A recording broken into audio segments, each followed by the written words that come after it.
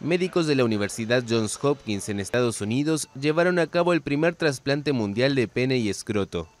El paciente es un soldado estadounidense que fue gravemente herido mientras prestaba servicio en Afganistán por la detonación de un artefacto explosivo artesanal.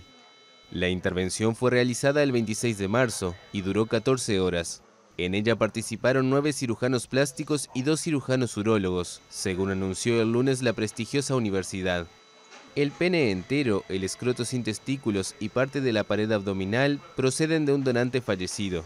El primer trasplante de pene, aunque sin escroto, tuvo lugar en China en 2006. Sin embargo, fue luego removido porque, según los médicos, hubo un grave problema psicológico del receptor y su esposa. El anunciado el lunes es el cuarto trasplante de este tipo que se ha realizado con éxito, tras dos en Sudáfrica y uno en Estados Unidos.